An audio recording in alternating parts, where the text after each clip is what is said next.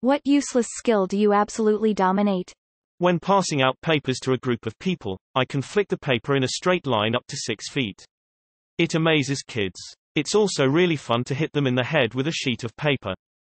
When I was in high school I read some novel in which the woman admires the hero because he has a habit of throwing his keys over his shoulder and catching them behind his back. I practiced and learned to do it pretty easily. But I never had the confidence to do it casually in front of women. Or anyone really. Tongue twisters. Can't talk for shit normally. But I can say all the crazy shit. I can make realistic fart sounds with my neck. Not sure if I dominate this skill as I never met a competitor. Recognizing the voices of actors and actresses when they are doing voiceovers. It has never been useful and never will be. I can name the location of every country in the world on a map, no one cares though. I can do impersonations very well. That's why I'm unemployed. Untangling things. I don't know why, but I can always untangle knots and tangled up necklaces. I only met my match once with a silver necklace. Edit. While so many replies. Thanks for the awards too. I guess I thought it was useless since I only really did it for jewelry I never wear anyway but wow. Network technicians. Respect.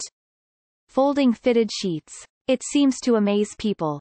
I'm still undefeated in the game where you have to say an animal that starts with the last letter from the animal the other player said. You keep doing that till someone gives up because he doesn't know more animals and you're not allowed to use an animal previously used. Nobody beats me at this shit. Edit, holy shit this blew up. Guys, I'm undefeated in my native language, Dutch. In English I am probably not as good. I can parallel park so damn good. I remember when I took my driver's test how easy it was, and I stopped being nervous. Ever since then friends or family members I ride with, even if I'm not driving and they find a parallel parking spot no matter how snug but manageable they make me do it. I'm decent at many things, but parallel parking is a skill I have maxed out for some reason. Remembering absolutely useless shit. Whistling to get my dog's attention. If there are other dogs within two blocks, I get their attention too. Enjoying hobbies that are terrible for monetizing. I can bark like a dog, surprisingly well. I can do different sizes and pitches too it's fun but very annoying to do at the dog park. I can run really fast on my hands and feet. It has never come in handy. I wiggle my ears at an Olympic level. Chicks dig it, or so I tell myself. Remembering phone numbers. It was far more impressive before smartphones. Not so useful nowadays. In my early 20s, I had a time-keeping talent that I can't explain to this day. I could go on without a clock for as long as an hour and a half and guess how much time passed down to the second with only a 5-second error margin. Unfortunately I stopped practicing at some point and eventually completely lost the skill.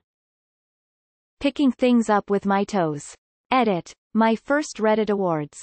Being confident. But only in my room alone. Pretending that I'm working on my laptop even when I'm commenting on Reddit.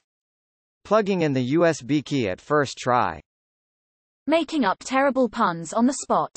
Programming names into bowling lane consoles. I can juggle all kinds of things, including fire and machetes.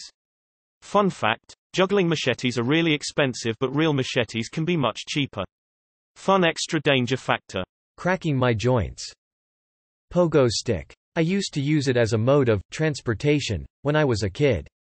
Meaning I would hop all around my neighborhood at a whopping 0.2 miles an hour feeling like fucking beast. I know the exact amount of time to microwave anything so that it is the perfectly warmed up.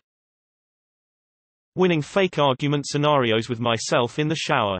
You know those spatial intelligence tests that ask you to rotate an 3D object in your mind and select the correct image. I get perfect or near perfect scores on those every single time.